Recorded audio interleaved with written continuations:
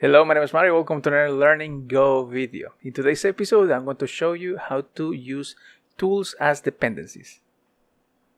As usual, the link to this example will be in the description of this video, so please feel free to check it out, clone it, and play with it. I'm using the Todo microservice example that I've been using in previous episodes, and the same applies for any other project that happens to be using this paradigm. The first thing I want to show you is that there is this tool called direnv, and direnv allows you to define uh, environment variables that are applied to your environment as soon as you change directory where the configuration of direnv is located at. I'll give you an example. So I have right here, I'm using my, my Todo microservice and I have the configuration for this specific project and I'm going to be saying, hey, uh, I'm going to be adding the bin, the folder bin to the path so I can refer to the binaries that are uh, applicable to my project only and I'm, I'm going I'm also specifying the Go bin for this project to install all the binaries that I'm using and I'm going to be showing you in a few minutes in the bin of this same project.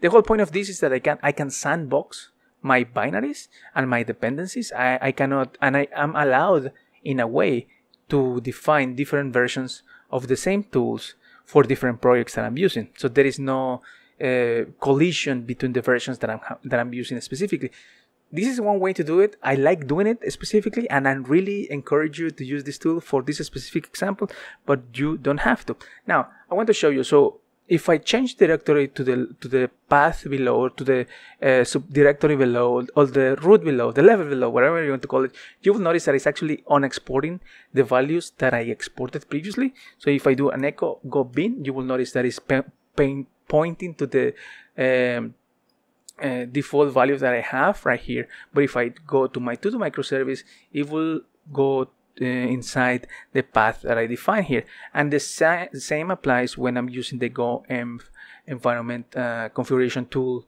the command in the go, go toolchain. So the whole point, like I said, is referring or making sure that I'm not polluting the different directories, uh, different paths, and different projects using different versions, and therefore colliding with different projects.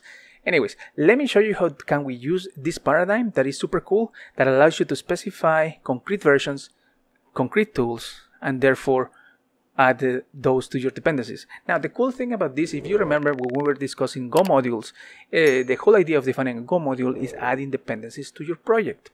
Now, I have a Go module already defined here for my project, which is under the Todo API. If I open what I like to do when defining uh, dependencies for tools. Let me turn this off. And eh, when I'm using the, this tools paradigm, I like to define it to define a tools folder that happens to be including all the information that I need for the dependencies that I have. In here, I'm actually defining a new Go module. The biggest difference though is that I'm not referring to the packages that I'm using, but rather the binaries that I want to use for the project that I'm currently working on. So in this example, I have the OpenAPI code generator, the software package metrics, the migrate tool, Golang CI, SQL C, and so on and so forth. Now, the cool thing about this, like I said, is that you can specify and you can define a tools.go. You can name this file whatever you want to. You just have to import the package that happens to be referring to the main package of the tool that you are using. Now, Obviously, you cannot import the main package, but what this does in Go is actually adds the dependency into your Go mod and it allows you to specify and use that package and that tool rather as part of your, of your toolchain. Now, if you notice when I was referring to the envrc, uh, I added a path called bin into my binaries. So when I install this, uh, what is going to happen. Right let me show you first one thing. So i have in bin i have this install tools script. Is just basically a shell script that happens to be installing all, all the binaries using go install and if you notice i'm not specifying the version right here. And that's intentional because i want go to take the value from go mod in this case and therefore pull the version right away and modify go mod on their internal tools and keep the version that I'm using. All of this is intentional. So I have this thing here. Let me undo all of this. And if I run install tools, remember, I had my path that happens to be pointing to the local bin in this folder because I'm using dir env, env. Therefore, I'm not going to be installing it in the default path that I usually have for my user. So if I call install tools, it's going to be downloading the files, compiling those files, building the package, you know, building my main for each one of the packages and installing everything on their bin. So this is the cool thing about this paradigm. Now, as soon as we have this ready, we can actually uh, add another thing that I covered in previous episodes as well, related to maintainability, uh, which will be in the dependabot dependencies that I can add right here. So I can specify, hey, I also want to consider my Go mod that happens to be included in the internal tools folder that happens to be a Go module as well. So all of this is important to, to keep in mind when you're trying to do, use this paradigm and you want to keep track of your dependencies. Now, what if we want to add a new dependency? Let's look at that example. So let's say we want to add a new tool. In this case, let's take as an example the stringer command.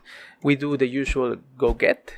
Now go get will modify our local go mod and go sum to include those dependencies. As usual, when you pull files or packages using get. Now, the important thing that is going to happen is that in order to make this package or rather tool stick into our dependencies, we need to modify our tools.go file to make sure that we are always including what the heck that uh, we are always including it in our dependencies. So I go and import the main package for this tool again.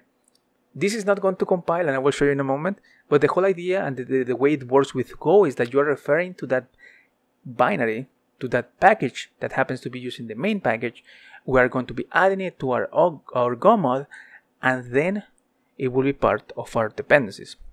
So if I do a Go mod, let me show you again. We have two modifications, three modifications now. So we have the tools, the sys and net and so on and so forth. There, they were upgraded because they were used by the stringer uh, command, and we have it down here referring to the stringer tool. If I do a go mod tidy, what is going to happen is that now this dependency is no longer an indirect dependency. It is a direct dependency because I include that in the tools.go file. So I'm explicitly importing it. Now, does this compile? Well, no, it doesn't compile because the, what I was saying is a program is importing the main package and it doesn't compile. But that's not the point of what we're doing here. What we're doing here is we're trying to add the dependency to our projects so we can use it, we can tag it, and we can version it. And it could be part of our pipeline. Now, what is next and we have to do is need to jump into the binary, or rather the bin folder, and specifically the install tools shell script. So we just have to copy, oops, not that, but rather what I was using a while ago for installing which where are you? Okay there you go.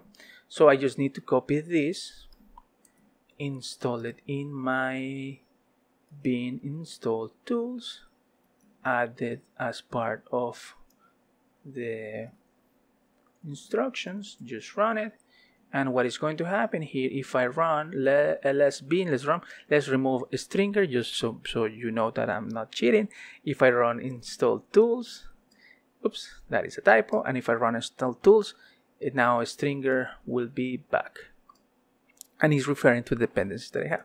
So what is left is just basically just committing all these changes into, to, into your repository. And like I mentioned before with the Dependabot we can actually refer to that uh, Go mod and also those packages will be upgraded as soon as we need them.